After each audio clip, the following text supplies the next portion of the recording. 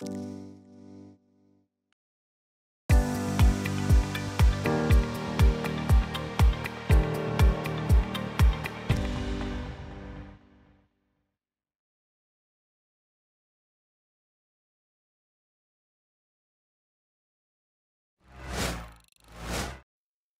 зрители, привет!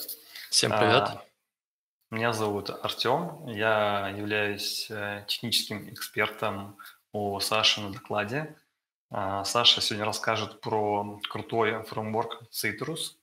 Это некая замена а, аналогов а, REST Assured плюс Wire, WireMock. И еще хотел бы добавить, что не забывайте задавать нам вопросы, мы их очень ждем. У нас есть телеграм-чат, пишите в чат все свои вопросы, мы на них э, дадим ответы либо по ходу нашего доклада, либо в конце. Э, на этом, наверное, все. Саш, тебе слово. Да, всем еще раз привет, меня зовут Александр, я работаю в МТС и в основном пишу автотесты на Citrus, и сегодня вам расскажу про Citrus Framework. По плану разберем, когда можно применять Citrus – Пройдемся по шаблону Citrus и напишем а, тесты. Исходный код доступен по ссылке, в конце также ссылку продублируем. Citrus – это open source, у Citrus есть понятный API для написания тестов и есть готовые модули для настройки и использования. Вообще Citrus ориентирован на быструю разработку тестов с минимальным программированием, и Citrus применяется для интеграционного тестирования.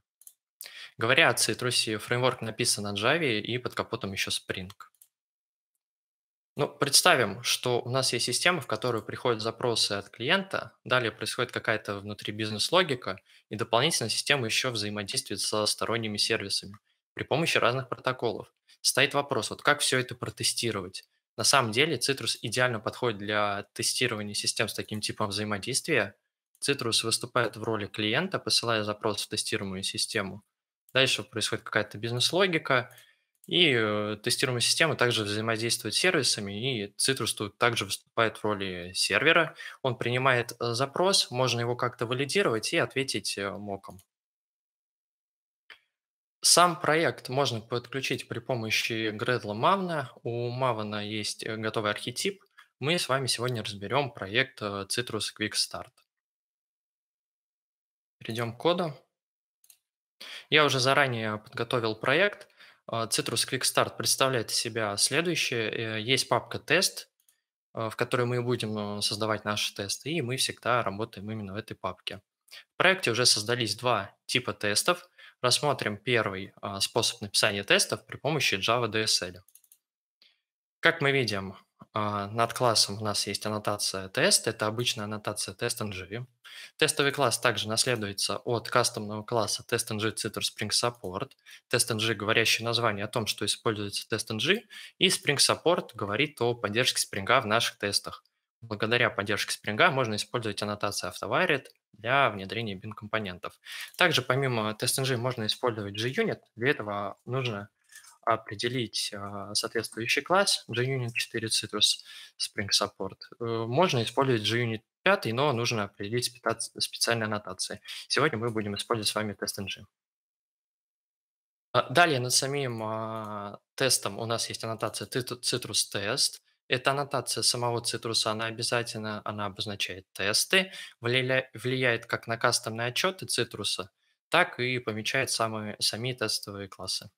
Citrus а, поддерживает разные внутренние методы, такие как variable, echo, run, но сейчас мы не будем на них останавливаться, рассмотрим чуть подробнее позже.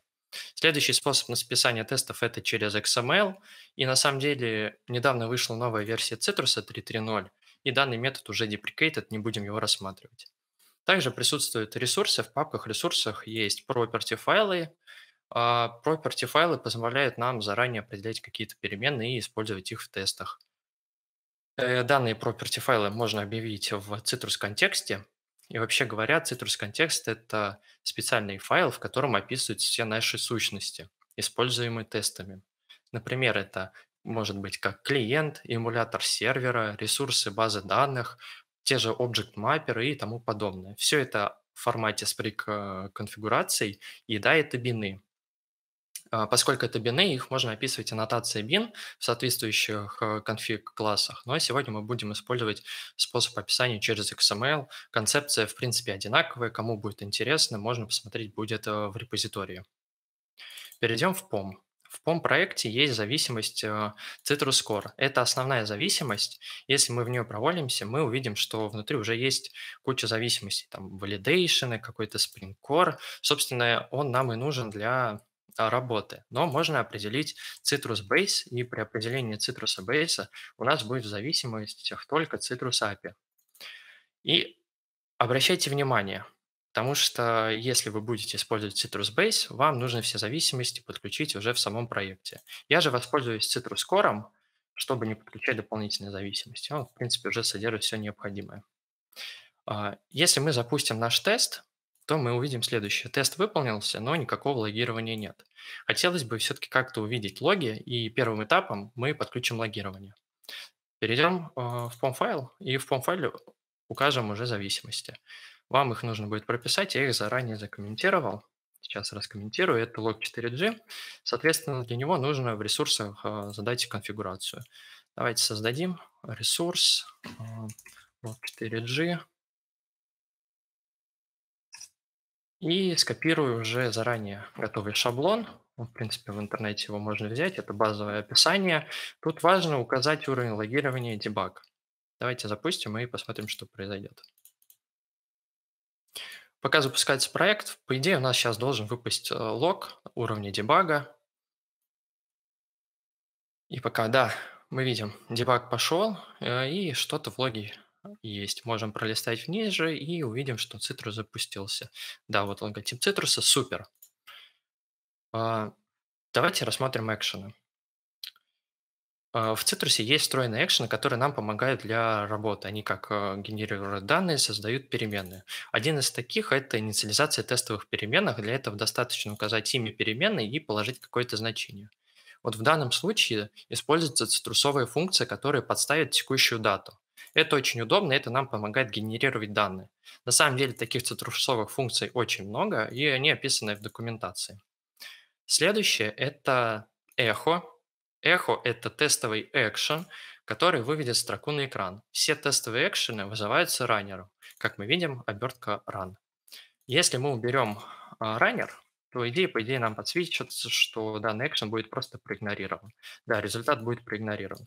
Поэтому запомните, все любые тестовые экшены в цитрусе нужно оборачивать методом а, run, то есть раннером. Мы познакомились с вами с базовым проектом. Настало время написать наш первый тест. Вот дана система, напишем для нее тест. А, первым шагом а, мы хотели бы отправить запрос в тестируемую систему от клиента. По условию у нас есть требование. Отправляется HTTP-запрос а, с указанным телом и методом post. Также присутствует опциональный заголовок длиной в 10 символов. Давайте напишем тест. Переходим в проект. А, да, давайте используем данный метод. И первым делом мы хотим создать а, Citrus клиента для отправки запросов в тестируемую систему. Поэтому нам нужно перейти в файл citruscontext.xml. Здесь бины. Соответственно, мы хотим отправить от клиента. А, вводим клиент, и нам идея подсказывает. Введите Citrus HTTP client. Для клиента нам необходимо указать ID, по которому мы в дальнейшем будем обращаться в тестах. Ну, я напишу просто HTTP client и для него сделаю request URL. Request URL – это URL входящего запроса, то есть э, тот URL, э, на который мы будем отправлять запрос. В моем случае тестируемая система поднята локально на 81 порту, поэтому я укажу localhost 8081. Клиент готов. Теперь переходим э, в Java код для написания теста. А, поскольку мы отправляем HTTP запрос, так и ведем HTTP. Отлично. Далее через точку укажем клиент, ну, поскольку мы отправляем от клиента запрос, и укажем ранее созданный ID из а, текста.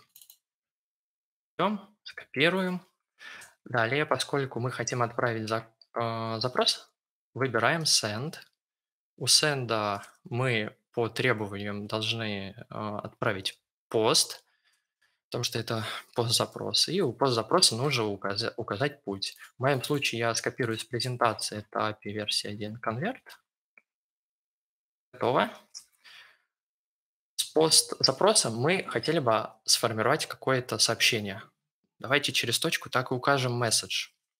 Для месседжа можно указать э, тело, content type, header. Начнем с content type. В моем случае это application JSON, и я так его и укажу. А далее через точку хотелось бы указать header. Да, мы помним, что у нас есть опциональный header. Давайте его укажем. Это xid request. Я его тоже скопирую с презентации. И для позитивного сценария у нас значение в 10 символов. Давайте сначала сделаем какое-то статическое значение для простоты. Да, 10 символов. Не забываем формировать тело сообщения. Тело сообщения можно сформировать разными способами. А, я укажу просто строкой. Также скопирую из презентации. На самом деле сюда можно передавать объекты, там, object map, там, при помощи object mapper как-то генерировать, но сейчас мы возьмем просто строчку. Отлично. Все, готово. Мы написали первый шаг отправки запроса. Но он не отработает. Не отработает он по простой причине, потому что в 40 строчке мы видим, что это HTTP Action Builder. Да, и это какой-то action. Как мы помним, все экшены нам нужно запускать при помощи run, а берем его методом run. Оборачиваем и оборачиваем здесь, завершаем. Супер, теперь это сработает. А, и давайте попробуем запустить. Действительно убедимся, что это работает. Да, пока у меня запускается тест, Соответственно, мы хотим увидеть в консоли, что сформировалось какое-то тело по нужному нам URL. Так, видим тест зеленый, супер. И посмотрим, да, действительно, видим, что какой-то клиент, HTTP-клиент отправляет сообщение, причем это сообщение отправляется по нужному нам URL и с нужным нам телом. Да, супер, это то, что нам нужно. А, да, этот запрос не идеален, потому что мы с вами не указали э, форк. Что такое форк? И вообще форк э, это специальный параметр, э, который нам позволяет подвешивать обработку запроса в отдельном потоке и позволяет продолжать выполнять тестовые шаги. Указываем true, и практика такова, используйте fork false, когда ответ от сервера приходит сразу. Ну, чаще всего это происходит при негативных сценариях. Мы с вами пишем позитивный сценарий, причем сценарий взаимодействует с каким-то сервисом, поэтому нам нужно будет дождаться ответ на данный запрос. Ставим fork true. А, хотелось бы еще упомянуть, обращайте внимание на методы при отправке запроса. Как мы видим, а, у нас есть месседж, и мы формируем а, сообщение. Для месседжа можно указать метод. Давайте попробуем указать метод, и для метода укажем HTTP метод э, get. Казалось бы, в 43 строчке мы отправляем пост-запрос, дальше формируем сообщение, и для этого сообщения указываем метод get. Э, непонятно, что в итоге будет. Запрос get, запрос post, и вообще отработает ли данный тест. Ну, пока я буду запускать э, тест, вы можете написать э, в комментариях, в чатах, э, что вы думаете, будет, будет ли отработан запрос и какой он будет, get, post. А мой коллега Артем мне подскажет с ответами. Запускаем тест.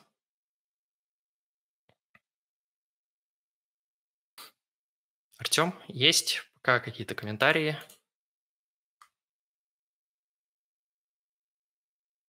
Что думают? Пока, пока комментариев нет.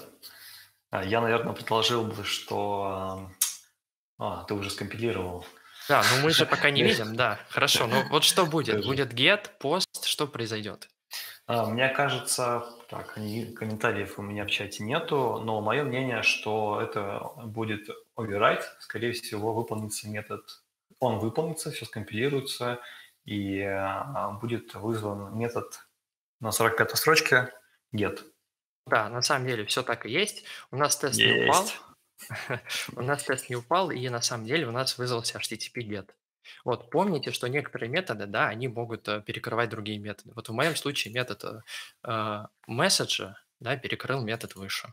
Я хочу тут добавить, что большинство, ну, из опыта эм, большинство фреймворков, да, либо API, которые я использовал, всегда как бы идет перекрытие последней строчки кода предыдущей. Ну Поэтому ну да, совершенно можно верно. было тут догадаться.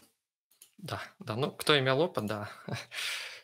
Хорошо, давайте продолжим. Мы с вами написали код для отправки запросов в тестируемую систему. Первый шаг завершен. Следующим шагом мы бы хотели как-то принять запрос от тестируемой системы в сервис, да, провалидировать данный запрос, а потом уже на него отправить э, какой-то ответ. Ну, по нашему условию, э, вторым шагом в тестируемая система отправит э, на сервис постзапрос с таким вот телом. Да, ну и причем по некоторому URL. Нам известен этот URL. Хорошо, давайте тоже напишем этот шаг. Открываем код. А, да, открыли код. И как помним, а, нам нужно сперва сделать runner. Указываем run. Далее указываем HTTP. Для HTTP мы уже хотим использовать сервер, поскольку мы принимаем запрос от тестируемой а, системы в роли сервера. И здесь нужно будет указать ID, я пока это в этот момент пропущу. Далее через точку указываем receive, поскольку входящий запрос будет провалидирован, и для receive укажем а, post. Ну, поскольку в нашем ТЗ это постзапрос. Да. Готово. А, в принципе, второй шаг готов, но мы не указали ID. Нету сервера. Давайте это сделаем. Перейдем в Citrus контекст. В Citrus контексте также можно э, создать bin. Для этого вводим Citrus сервер. Для сервера нам также нужно указать ID. В моем случае это будет а, REST сервер какой-то, да. Кстати, забыл сказать, что ID должен быть всегда уникальным. Далее прописываем порт. Порт можете указать любой, свободный. В моем случае это будет 80, 88. На данном порте будет как раз-таки подниматься наша заглушка. И все запросы, которые а, ну, входящие запросы на данный порт, они будут обработаны. Для того, чтобы наша заглушка стартанула сразу, используем автостарт с флагом true. Данный флаг нам позволит сразу поднять заглушку при старте тестов. И можно указать, какой тайм-аут. В моем случае это будет 12 тысяч. На самом деле тайм-ауты указываются одинаковые из вашей системы тестируемой. Но тут можно тоже играться. Тут хочу, Саш, тебя добавить, что тайм-аут, наверное, в миллисекундах ты указал. Да-да-да, да, все верно, да, спасибо. Mm-hmm. Следующим этапом а, мы указали заглушку на 88 порту. Не забываем этот же порт указать в самом тестируемом приложении. Как мы видим, у меня тестируемое приложение поднято локально, и здесь в application а, YAML, да, в каких-то конфигурациях, есть э, URL. Вот для URL указано localhost, поскольку тесты поднимаются на моей локальной машине, и указан порт 8088, это как раз-таки порт нашей заглушки в цитрусе. Ну, дальше все по стандарту используется действительно URL, который должен, ну, ну по ТЗ использовать система. Я использую localhost. На самом деле вы можете поднимать это, а, ну, ваша тестируемая система может быть поднята в облаке, да, где-то, а тесты на вашей машине. В данном случае тогда вам указывать надо не localhost, а IP вашей машины. Хорошо, с этим разобрались. А, перейдем к тестам. Мы с вами написали уже bin, теперь перейдем в сам код и в самом коде укажем ID. Мы его еще не указали. Готово. В принципе, теперь это сработает, но хотелось бы как-то все-таки начать валидировать да, входящее сообщение, чтобы вообще понять, что туда приходит от тестируемой системы, и понять, вообще ли это наше приложение. Способ валидации множество, на самом деле. Через точку validation, вот мы видим, сколько тут способов. Можно валидировать как и под же классами. Можно обратиться к сообщению, забрать его payload и уже как-то с этим payload работать. Мы же давайте провалидируем по-простому при помощи JSON пасса. Я укажу JSON pass, далее через точку выражения, и оно принимает в себе выражение JSON пасса и value. Оно, насколько я помню, это у меня dollar account number, PTZ, мы должны проверить, что аккаунт, и у аккаунта должно быть значение следующее. А, не всегда нам удобно вот э, вставлять хардкодом такие значения. Да, плюс не всегда приходит точное значение. Может в ответе прийти что-то типа с текстом, и ваш э, номер. Вот что делать в этом случае? В этом случае Citrus предоставляет опять свои функции. Мы можем написать следующее. Собачка contains, contains. Давайте сделаем даже так. Угу. Contains. Закроем и собачка. Соответственно, теперь Citrus проверит, что э, по данному пути действительно содержится наше значение contains. Э, это содержание. На самом деле в цитрусе, опять же, широкая возможность, можно указать разные там паттерны, э, начиная э, проверить, что символ начинается с нужного там числа или вообще строка начинается с нужного слова. Вот это тоже можно изучить в документации.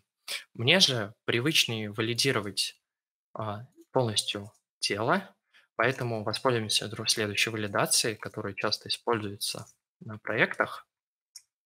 Это указываем validate внутри лямбда и, соответственно, message. Это как раз-таки есть наше сообщение.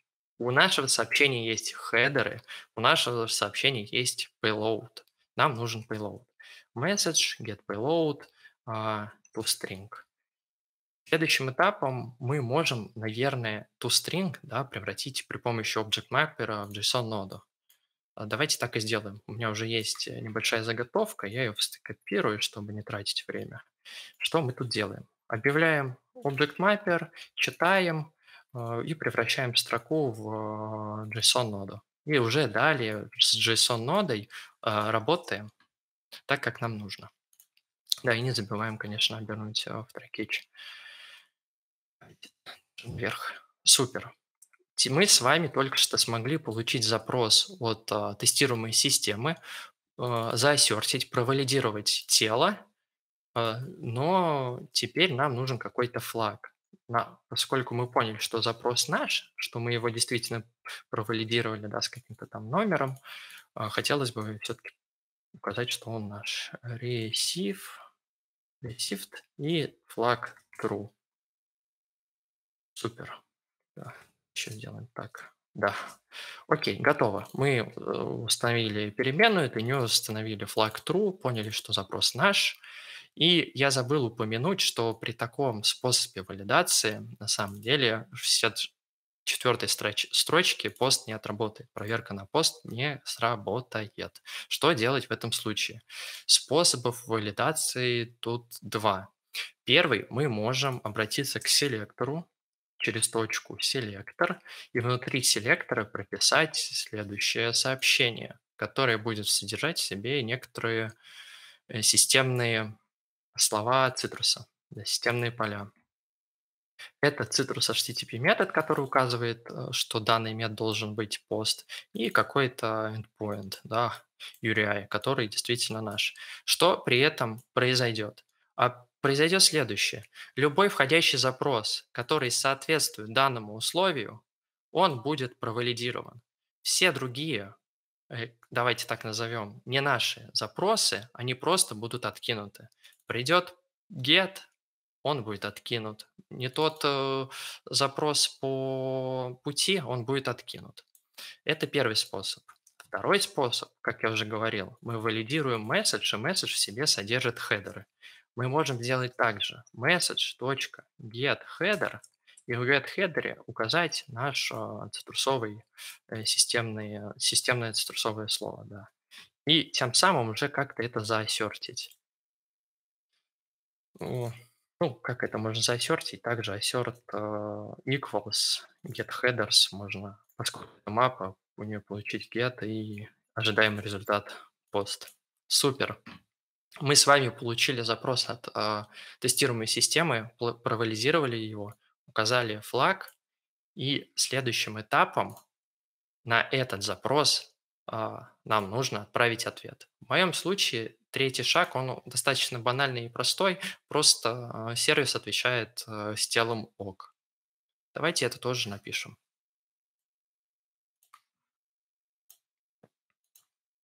Мы помним, что нам нужно использовать run. И run нам нужно указать а, также HTTP, поскольку мы работаем с HTTP. Дальше указываем. Опять же сервер, поскольку сервер нам отсылает а, ответ на запрос. Для сервера мы укажем тот же ID. И вот тут нам уже нужно указать send, поскольку мы делаем отправку в тестируемую систему send response. Для response мы также можем указать какой-нибудь HTTP статус, HTTP статус OK, насколько я помню по правилам. И сформируем сообщение. Через точку указываем message. Для месседжа можем указать, давайте укажем content type, почему нет. Мы хотим application JSON, причем а, с кодировкой пусть будет. И тело. Для тела укажем ок. Да, это не JSON, но так получилось, что мы это можем указать, почему нет. И не забываем указывать флаг по нашему условию, что если действительно наш запрос, мы должны на него ответить. В противном случае мы его просто проигнорируем. Отлично, флаг выставлен. Теперь мы отвечаем на запрос. Завершающим этапом э, мы бы хотели провалидировать ответ клиенту. А, давайте это сделаем. То есть клиент, э, вначале мы отправляли от э, имени клиента запрос, и вот на четвертом этапе мы наконец получили ответ э, клиенту. Переходим в код. Мы уже помним, что нам нужно использовать раннер. Используем run. Внутри run указываем HTTP. HTTP указываем клиент, поскольку завершающим этапом клиент получает ответ на свой запрос. Для клиента не забываем указывать ID. На самом деле это можно вынести также в переменную, можно э, и использовать. Клиента указываем э, receive и в качестве receive укажем response. Response, причем для response можем опять указать HTTP статус HTTP статус и как-то провалидировать. Ну, мы уже поняли, что валидировать привычнее целиком сообщение, ну, по крайней мере, для меня. А, воспользуемся этим способом. В целях экономии времени я провалидирую достаточно просто, делаю assert true, assert true, возьму сообщение а, стрингой и проверю, что она через contain содержит а, нужное нам значение. Правильно, contains и contains мы помним, что ожидаемый результат. Замечательно. Мы с вами только что написали полноценный э, сценарий позитивный. Давайте попробуем его выполнить. Запустим, посмотрим, что произойдет. Если все правильно написали, то тест должен быть зеленым. Ждем, пока происходит запуск. Видим, уже что-то пошло. Идет, идет, идет.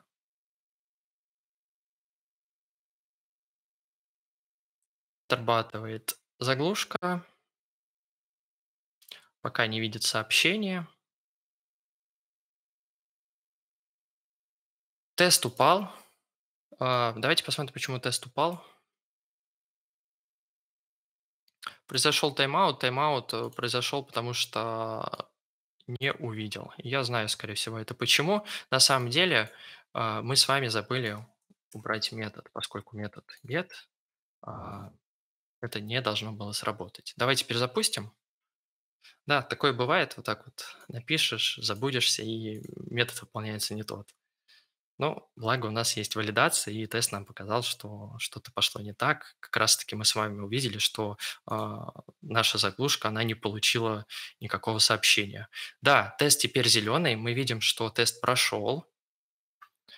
Давайте чуть пролистаем, и, наверное, будет проще начать с отправляемого сообщения.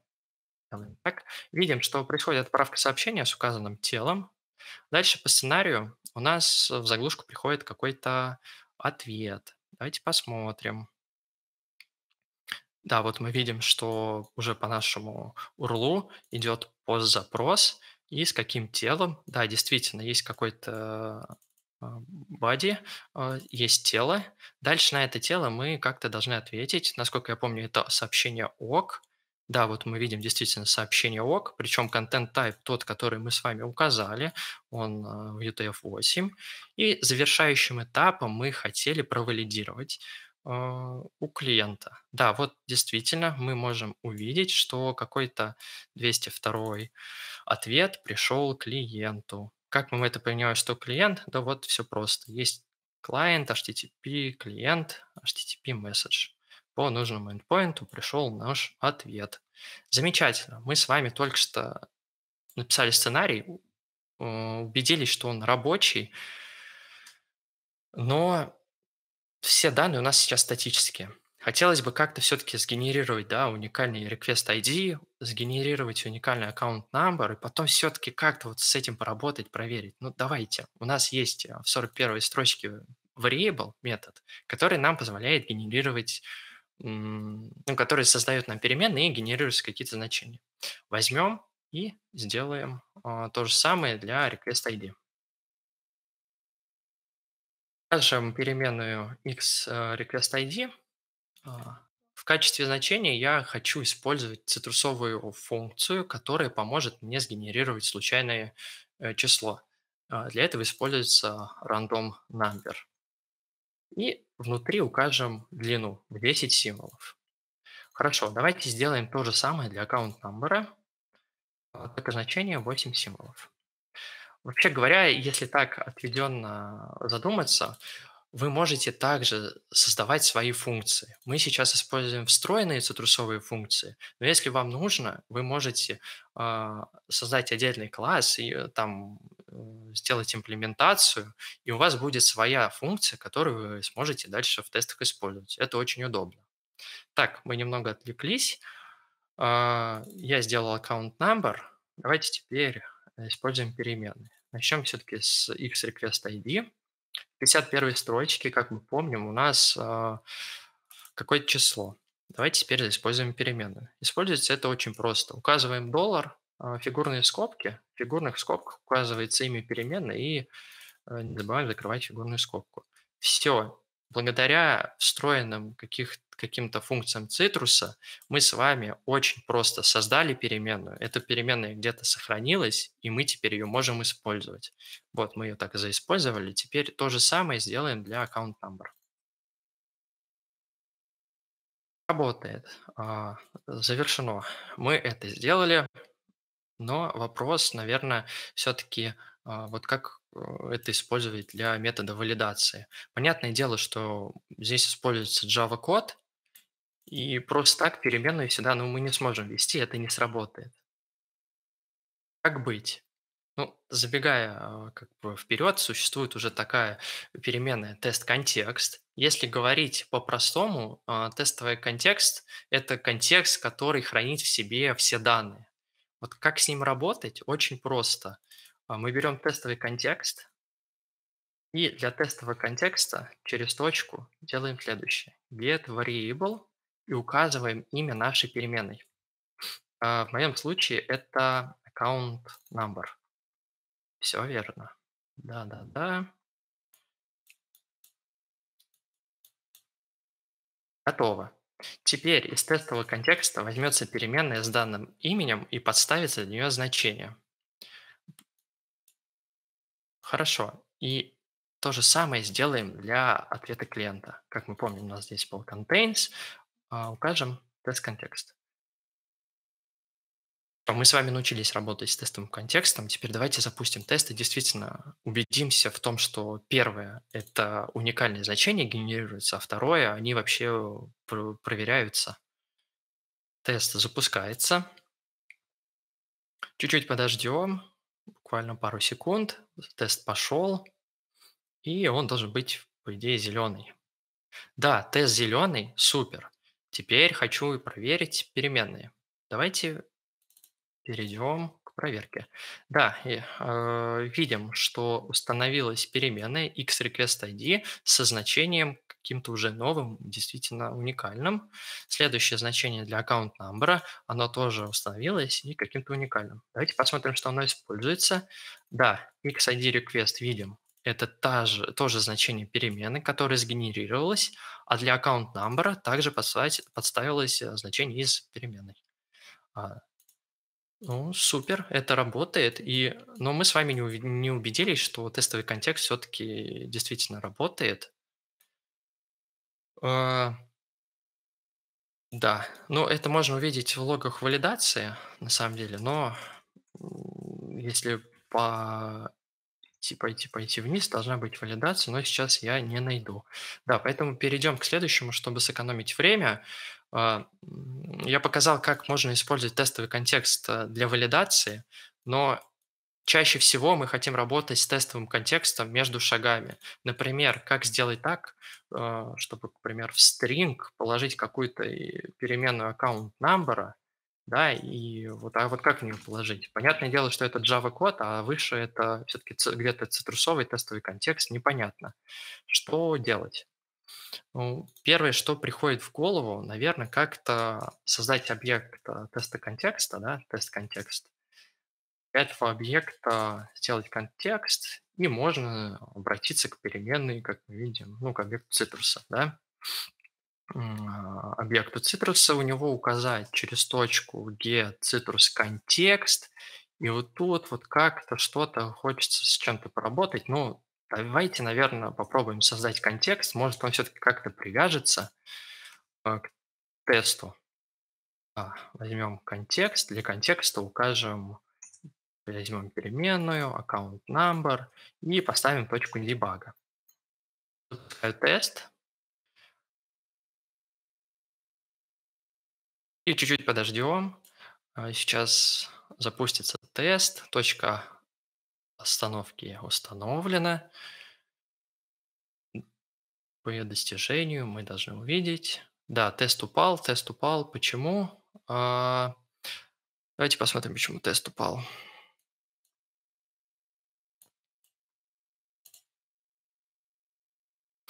А, ну да, все правильно. Тест упал, потому что в данном контексте нету переменной.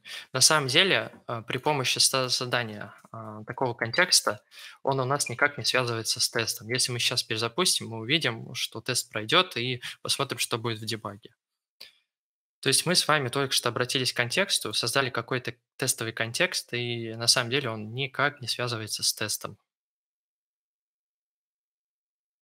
Точка дебага есть? Да, супер, мы дошли. Смотрим контекст, который мы создали. В нем есть переменные, но мы видим, что переменная всего одна. Казалось бы, мы э, в 41 строчке и 42 как-то объявили переменную, дальше ниже валидации использовали тестовый контекст, но сейчас его э, в нем нет. Тест как-то не связался с ним. Все-таки хотелось бы как-то связать тестовый контекст с данным тестом. Ну, здесь все элементарно.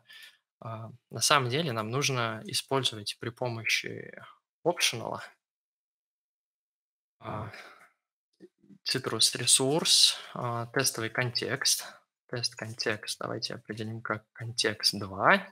И вот уже при таком подходе объявления контекста он будет связан с нашим тестом. И мы увидим, что переменные, они появятся в тестовом контексте. Запускаем тест и посмотрим на результат.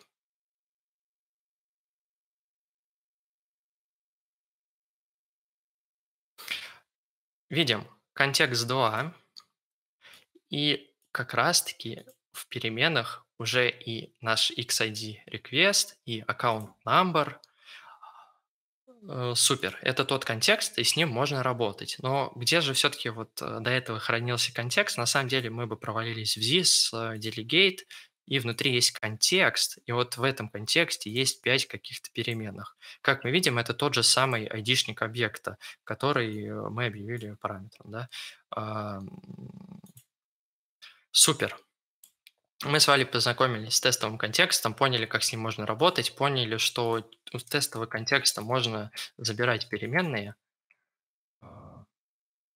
Хотелось бы еще рассказать про тест а, behavior. Тест behavior э, помогают нам сокращать степы. Соответственно, э, э, сейчас мы видим, что, во-первых, код теста очень громоздкий, а во-вторых, наверное, все-таки как-то хотелось бы переиспользовать его в дальнейших тестах. Ну, давайте создадим класс, да, тестовый класс, назовем его, как мы его назовем? Да, так и назовем, HTTP uh, client RQ, давайте, да. И теперь нам нужно, соответственно, сделать имплементацию. Uh, и для имплементации указать тест behavior. Вот он был. Супер. И нам идея сразу говорит, что нужно заимплементить методы. У нас есть метод apply, и с этим, мет с этим методом apply нам нужно работать. Я опять же скопирую ранее созданный код из нашего теста. Говорю debug, а, просто перенесу его сюда, и видим, что тестовый раннер как-то подсветился. А, тут все просто. Надо использовать тест action runner.run. Давайте так и сделаем. Да, это опять внутренний раннер, который нам помогает для запуска теста. Эту строчку кода можно закомментировать. Теперь а, вызовем а, тестовый а, тест behavior. Да, это делается при помощи run, apply, test behavior и наш созданный класс.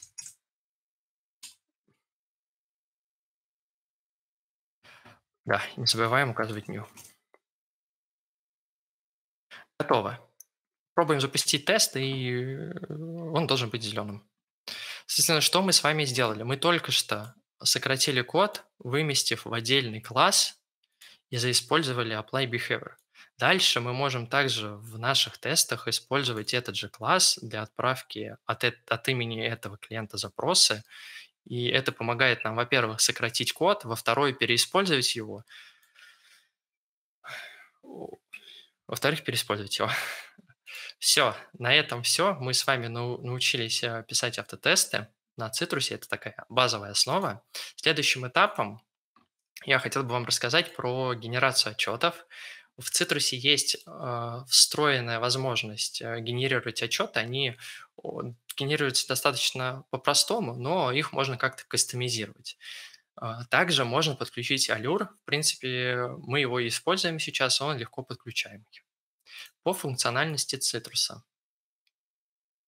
На самом деле из коробки у цитруса очень много возможностей. Можно использовать э, Cucumber, можно использовать э, Hamcrest, можно работать с Kafka, можно работать с SMTP, да, с мейлом, можно работать с FTP, с AAP, Selenium.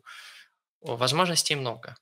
Но вот ситуация такова, что Citrus не работает с NoSQL. Да? Нет какой-то реализации редких протоколов по типу SMTP, например.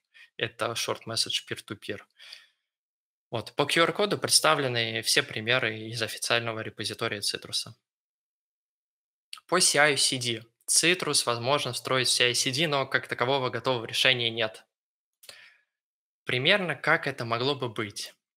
А, можно завернуть внутри докера само приложение отдельным контейнером и сам Citrus тесты тоже завернуть в отдельный контейнер. Важно помнить, что они должны работать в одной подсети. Да, при этом помните, что Citrus должен отправлять запросы в тестируемую систему, и для этого мы указываем а, адрес машины, ну, а, какой-то IP-шки. А в тестируемая система должна посылать на порт заглушки.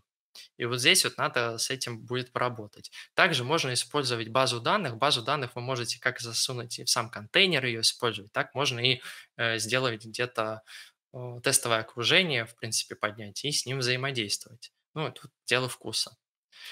И на самом деле уже коллеги некоторые делали проект по CI-CD. А, на слайде QR-код, по которому вы можете перейти в репозиторий и посмотреть примерную реализацию CI для цитруса.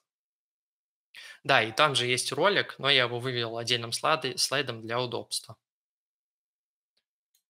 Как итог, а, плюсы и минусы давайте разберем. Плюсы цитруса. На нем действительно легко писать тесты. Как мы убедились, тесты пишутся быстро и достаточно просто. Относительно низкий порог вхождения. Да, это Java, но все-таки здесь есть, э, работаем в рамках фреймворка, и степы ну, практически везде похожи. Он многофункциональный. Да, несмотря на то, что нет работы, допустим, с NoSQL, зато есть работа там с Kafka, с базой данной, э, привычной нам, и достаточно много других функций. У Citrus действительно понятный API, с ним легко работать. Citrus Framework расширяемый. Под расширяемостью я имею в виду, что можно написать свои функции, но также можно и написать свои экшены. Мы использовали HTTP action. Вы можете написать, в принципе, свой экшен под свои задачи и его использовать дальше в проекте. Также тут, поскольку подключается Spring, можно расширять дополнительными какими-то фишками.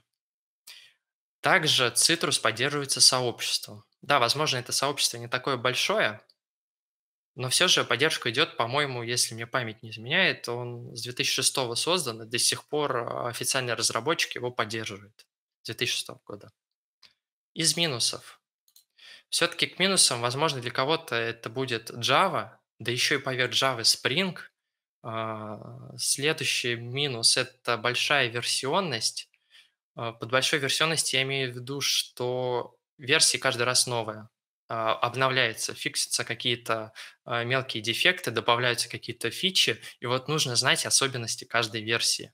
Понятное дело, что особенностей не так много, но все равно иногда приходится залезать в документацию, а порой даже и внутрь кода.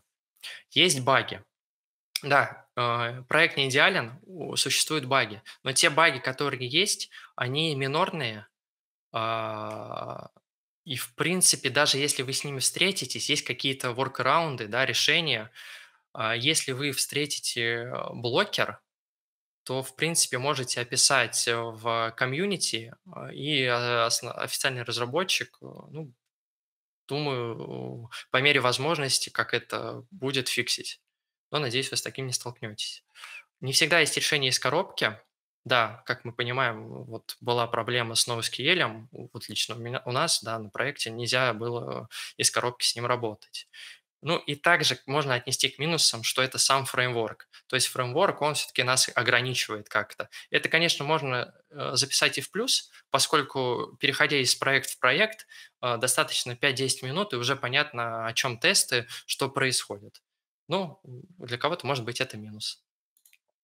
Ссылка на проект а, продублирована в э, данном репозитории указана тестируемая система а, и сами тесты. Да, ну, сам тест, который мы с вами написали. Также есть мой контакт, э, это Telegram. Можете мне писать по любым вопросам, если вы будете заинтересованы в настройке цитруса, по работе цитруса, хотите э, пописать код или даже помочь сообществу, пишите. У меня все. Есть ли какие вопросы, Артем? Да, Саш, спасибо за крутой доклад. А, вопросы есть. А, наверное, а, первый вопрос. Есть ли возможность э, запускать тесты параллельно? Да, конечно, такая возможность присутствует, но мы ее сейчас не рассматривали. Сам Citrus э, предоставляет э, экшены параллельные, но тут смотрите, в чем особенность. Э, чтобы запустить в тесты в параллель, а, вам нужно, чтобы тестируемая система могла синхронно эти запросы обрабатывать. Вот, и, соответственно, следите по сценарию, как это происходит. Да, такая возможность есть. Окей. А дальше последняя версия Цитруса на какой Java, какую Java поддерживает? Смотрите, последняя э, минимальная 11 сейчас э, в бэклоге, по-моему, будет четвертая версия, и в четвертой версии уже будет 17 Java. Окей. А, там вопрос есть от Александра. Чем а, Citrus отличается от REST Assured плюс WireMorg? Wire, Wire Mock. Так, как мы уже вначале сказали, это хороший, хороший аналог данным фреймворкам.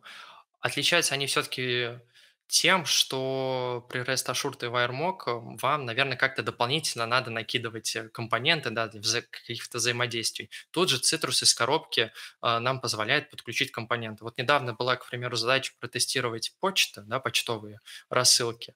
Мне понадобилось 5 минут, чтобы посмотреть в документации, как поднять мок, э, и условно 2 минуты для написания кода. И у вас уже готовый проект для тестирования э, почтового сервиса. То также есть и работа с FTP, как я уже сказал, с APM, там еще как-то с докером можно, но я, к сожалению, с докером еще не работал. С Kafka, например, да, тоже удобно очень. Подключили, посмотрели. Наверное, наверное, тут добавлю свой опыт. Мне тоже нравится REST Assured и WireMock потому что больше всего с ними работал. И действительно крутые инструменты. Но почитав да, документацию Цитруса, здесь стало понятно, что он дает э, очень большую базу различных интеграций, и вам не нужно это все писать э, там вручную. Да, ну, конечно, можно найти там э, в Гугле все, все, все, что захочешь, но сам фреймворк Citrus, он дает из коробки много интеграций. И мне кажется, это, это круто. Да, тут идея такая, что мы поднимаем проект и уже готовы к тестированию. Нам не нужно э, задумываться о том, что как-то дополнительно что-то подключить. Вот я как тестировщик, я хочу сейчас прийти на проект, поднять тесты и тестировать. И вот Citrus мне с этим помогает. Угу. Еще такой вопрос э, спрашивают, а если будет очень много э, сервисов, которые, которые требуются нам тестировать, вот э, как будет выглядеть э, конфиг, не будет, не будет ли он слишком большой, можно ли этот конфиг разделить там э, на, на отдельные, знаешь, как есть Spring контекст, как раньше было, там, когда настраиваешь через XML. Если настраивал да, там Spring, то там можно делать разли- различные контексты. Если что- что-то такое в Citrus, потому что ты сказал, что он Spring использует, а, и да. как, как можно работать да, вот с большим набором а, сервисов, когда тебе нужно протестировать эту всю интеграцию, связать? Первый вопрос. Как можно связать с интеграцией? На самом деле все это очень элементарно делается. У нас есть такие сервисы, которые работают с множеством интеграциями принципе, достаточно много тестов написано, они выполняются а, быстро, ну, на наш взгляд, да, и выполняют свою задачу. Это никакая не проблема. Да, понятное дело, что у вас будет, а, может быть, раздутый проект, но он и так бы у вас был при с других технологий, при использовании других технологий, скорее всего. По поводу второй вопрос напомни. Если у тебя много микросервисов, и это все нужно прописывать в, по конфигурационном файле, который ты говорил, там контекст, да. контекст, можно ли этот контекст там разбить, как а, это делает, ну, как позволяет это, это, это Spring сделать? Понял. Именно Citrus контекст, скорее всего, нет. Мы такое не практиковали. А при помощи аннотаций бинов, думаю, да, почему нет. Угу. Окей. А, так, еще хочу, пока есть минуточку у нас, если есть коллеги, ребята, зрители, вопросы, пишите, пожалуйста, в чат, либо оставайтесь на дискуссию, там разберем различные потрошки цитруса. И вопрос про, и тут тоже вопрос запи записывал, записывал, есть аннотация citrus-тест, да, это аннотация, то есть от теста ножи какая-то кастомная, либо это, откуда вообще она взялась и Это кастомная, это цитрусовая аннотация, она нам нужна для того, чтобы пометить, а, что это цитрусовый тест. То есть она обязательно. Угу. Еще ты упоминал, что есть э, тест-раннер от JUnit, э, там какая версия JUnit, пятая, пятая или четвертая? Есть и четвертая, и пятая. Четвертая угу. достаточно указать а, соответствующий класс, да, extend, а для пятой там уже посмотрите в примерах, потому что используется при помощи аннотаций. Э, там немного заморочено. Угу. А... В принципе, можем перейти в дискуссию и дальше да. продолжить. Я думаю, можно перейти в дискуссию. Все тогда у нас, у меня все. Всем спасибо, счастливо. Всем спасибо.